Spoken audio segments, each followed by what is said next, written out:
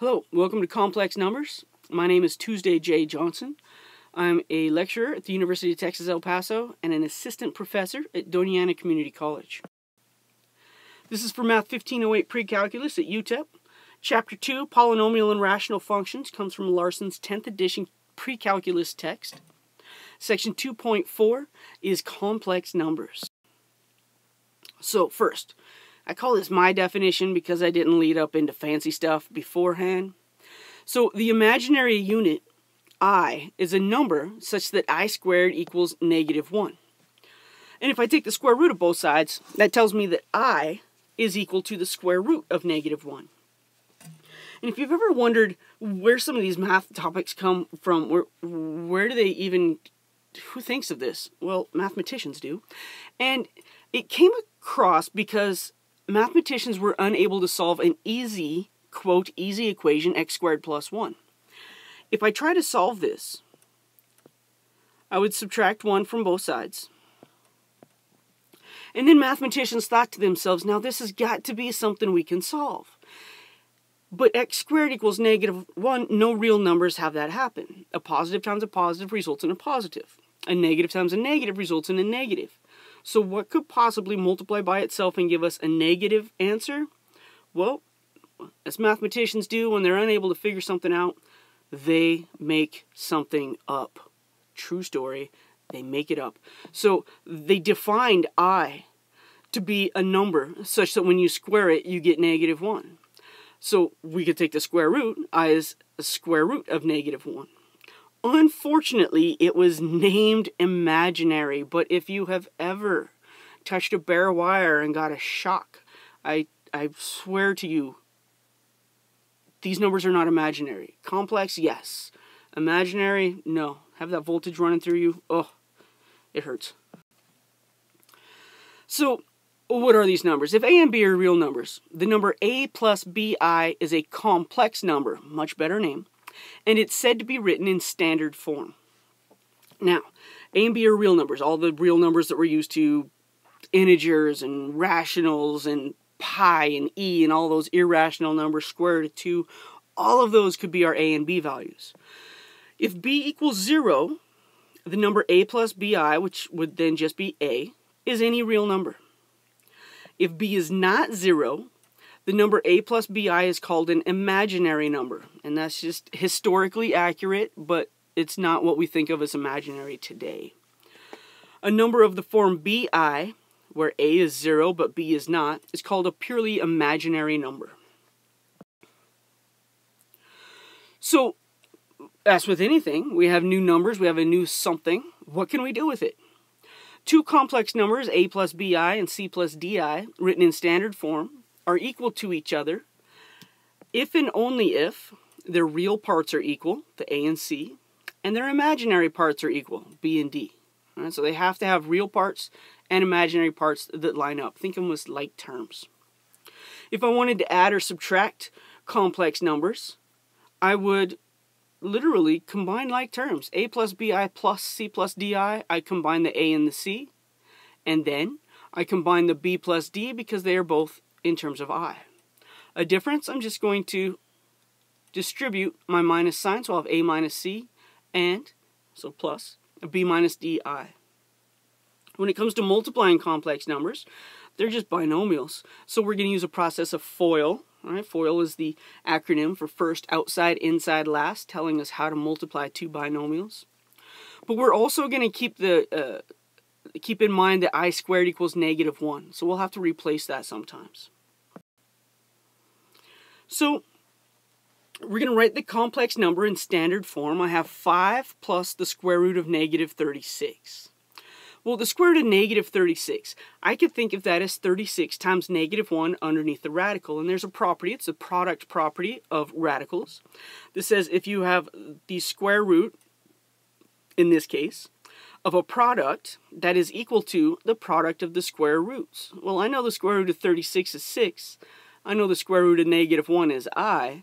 So I now have a 5 plus 6i, replacing the square root of negative 36 with the complex number 6i. If I'm looking at 1 plus the square root of negative 8, I'm going to look at the square root of negative 8. First of all, is 8 times negative 1. But 8's not a perfect square, so I'm going to rewrite. Instead of 8, I know the largest perfect square that goes into 8 is 4. So this is 4 times negative 1 times 2. Here we see it in green a little bit better. The square root of a product is the product of the square roots. Square root of 4 is 2. Square root of negative 1 is i. Square root of 2, I don't know, it's an irrational number. We'll leave it as square root of 2.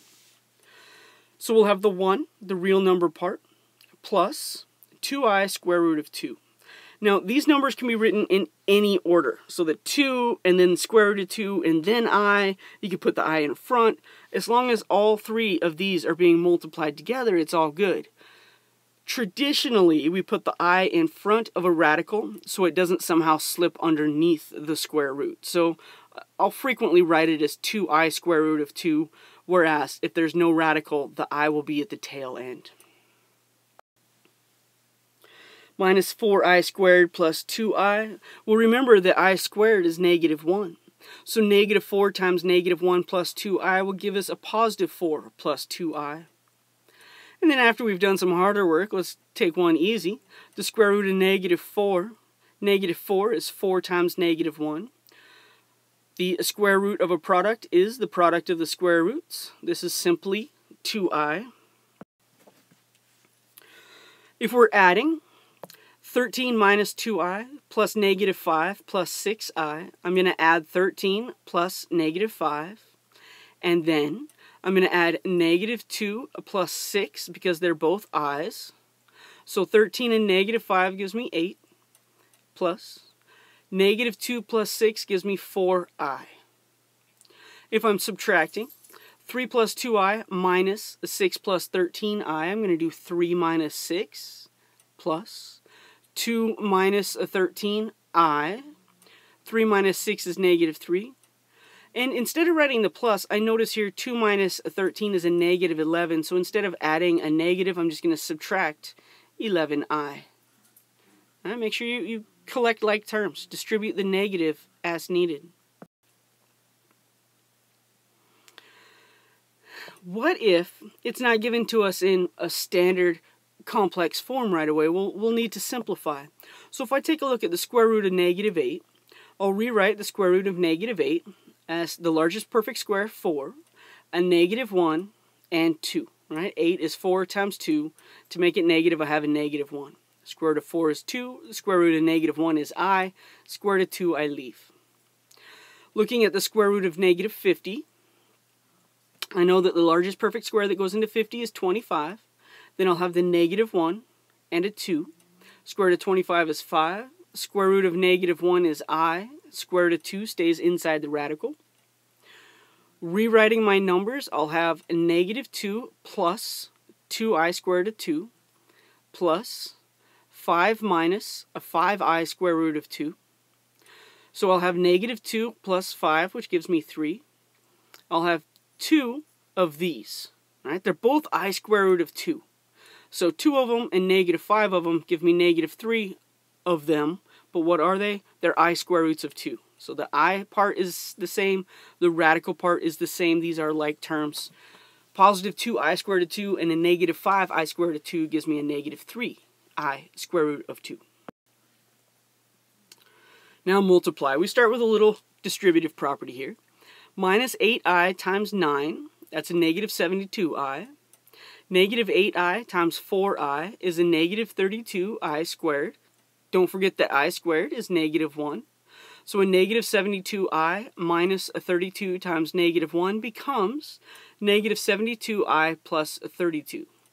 And that's alright, but traditionally we'll write it in standard form with the real part 32 first, followed by the imaginary part. So 32 minus 72i is a better answer, but they are equivalent in most ways.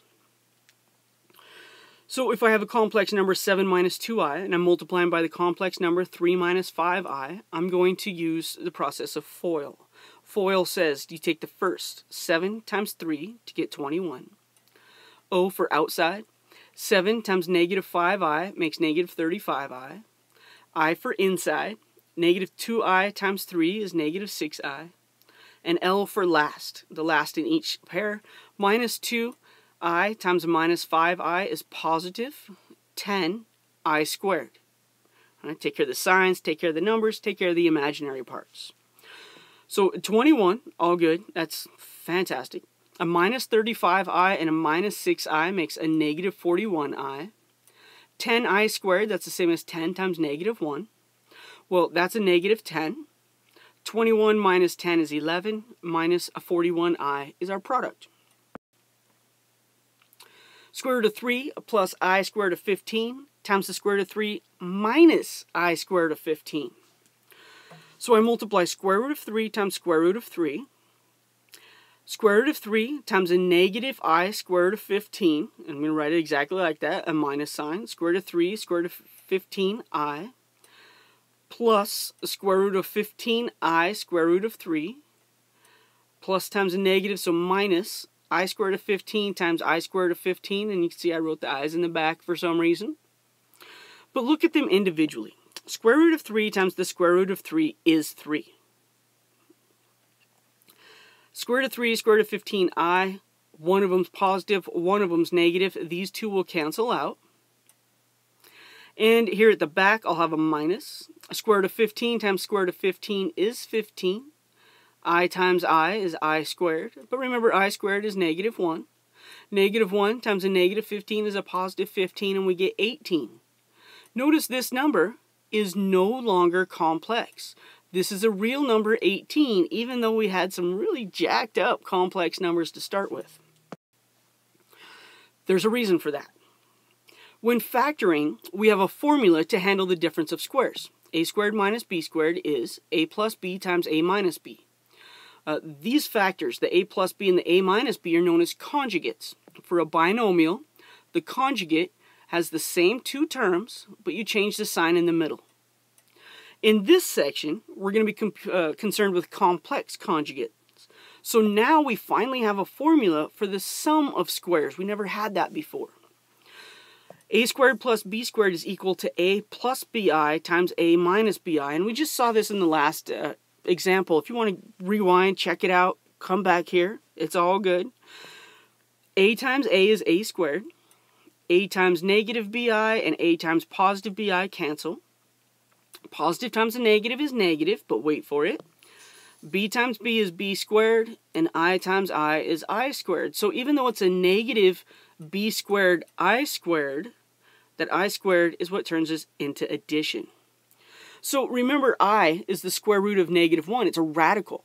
We're going to use this idea of complex conjugates to rationalize the denominators of quotients involving complex numbers. So we'll use the complex conjugate so that our result will no longer have an i term and therefore will no longer have a radical. So let's work with simplifying. Negative 14 over 2i. To me, this is a silly example, but I do it every semester anyway. Uh, simplify the 14 and 2 first. That becomes negative 7 over i. And if I have just an i in the denominator, I can multiply both numerator and denominator by i. And really what I'm doing is I'm multiplying by a form of 1. Negative 7i. i times i is i squared in the denominator.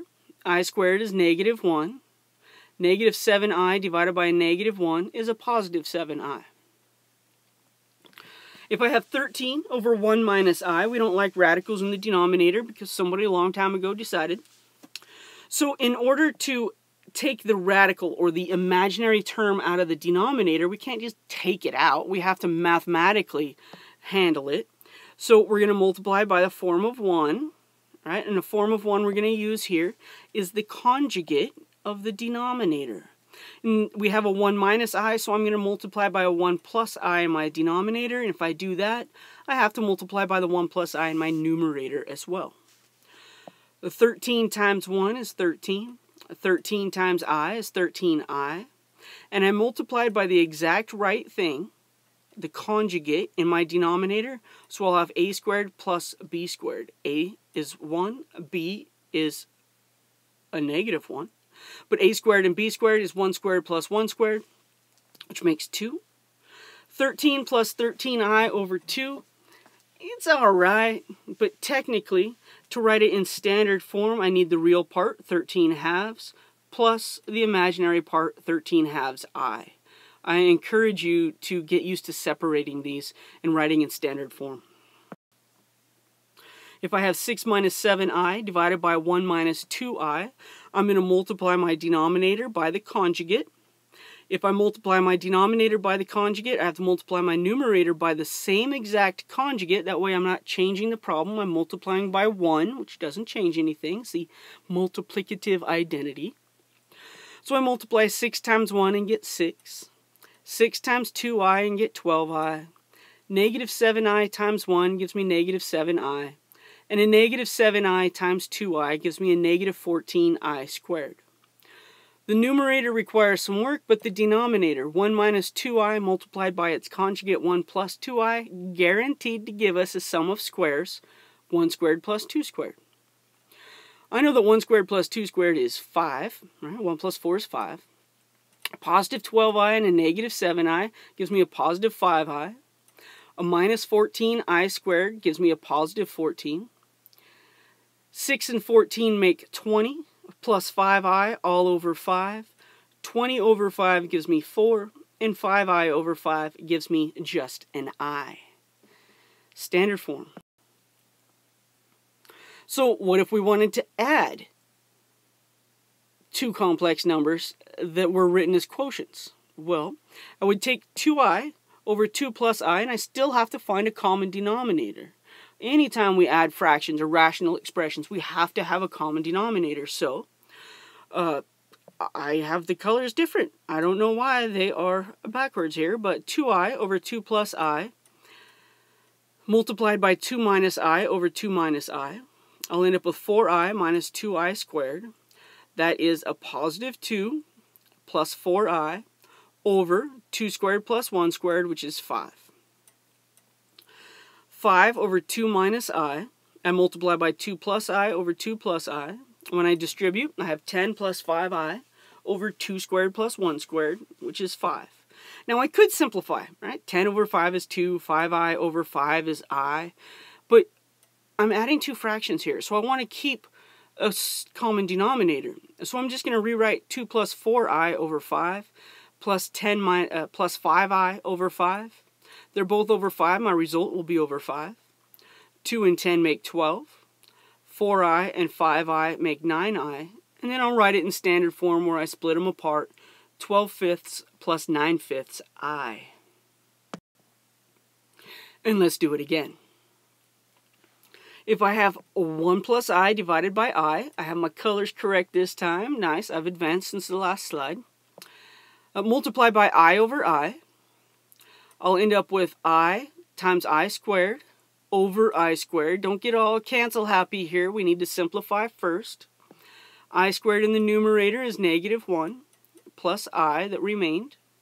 i squared in the denominator is negative 1. And this negative 1 in the denominator changes the sign. 1 minus i. 3 over 4 minus i, I'm going to multiply by the conjugate. That's 4 plus i over 4 plus i.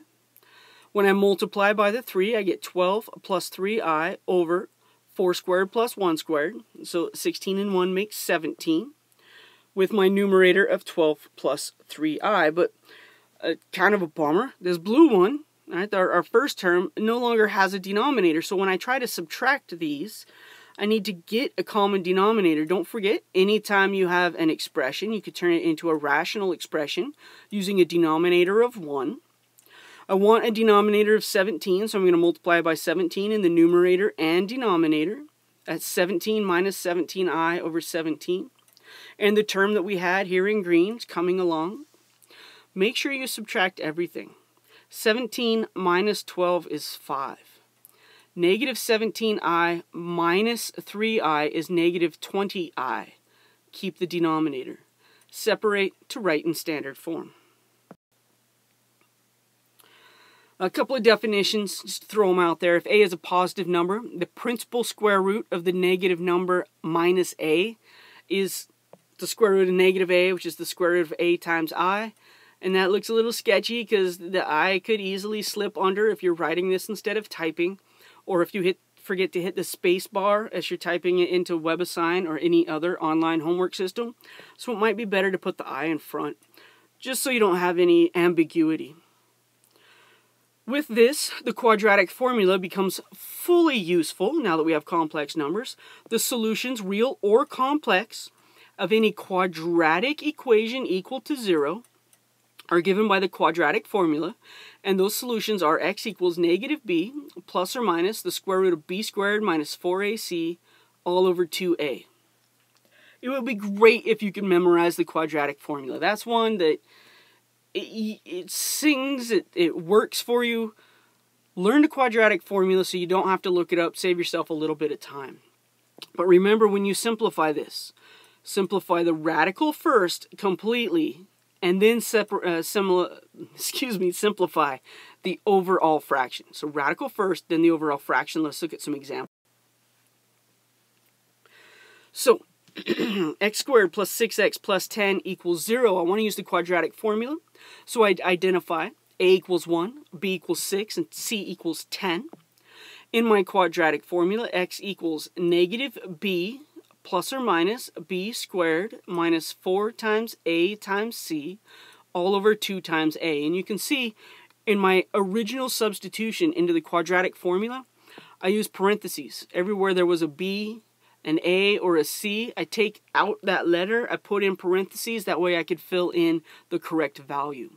And when b is a positive number, it doesn't quite matter so much, but when b is a negative number, these parentheses are going to be so helpful. So get in the habit of doing it all the time. Negative 6, a plus or minus, under the radical. 6 squared is 36. 4 times 1 times 10, that's 40. 36 minus a minus 40 is a negative 4. I've simplified under my radical, but I haven't simplified my radical yet. The square root of negative 4, well, the square root of the negative tells me I'm going to have an i. Square root of 4 is 2. So negative 6 plus or minus 2i over 2. Negative 6 over 2 is negative 3. 2i over 2 is i. Don't forget your plus or minus in between. I encourage some of you to actually take the next step and write it as negative 6 over 2. Let me make sure you can see that. Plus or minus 2i over 2.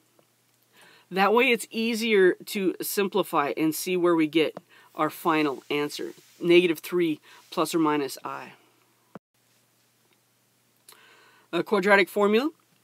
16t squared minus 4t plus 3 a equals 16, B equals negative 4, C equals 3. When I substitute negative B, you can see the parentheses help because it's negative negative, plus or minus, square root of.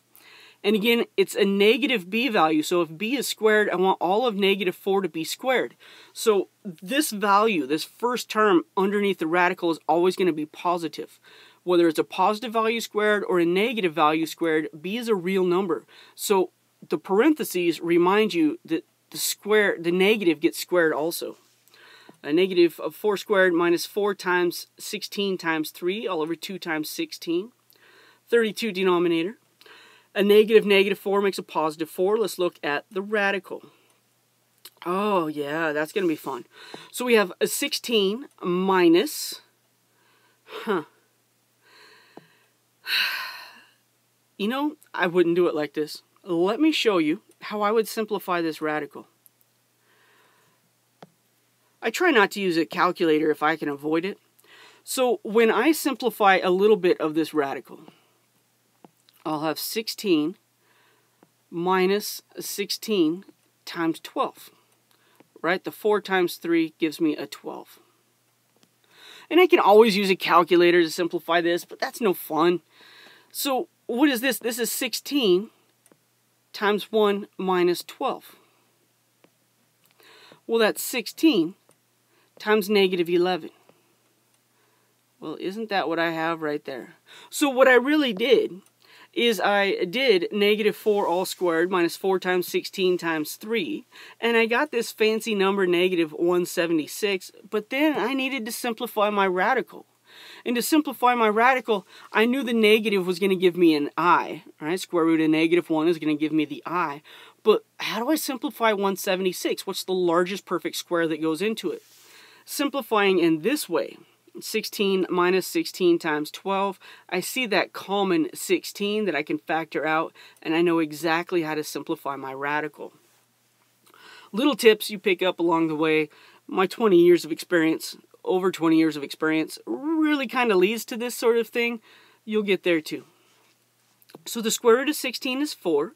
The square root of negative 1 is i. The square root of 11 is square root of 11.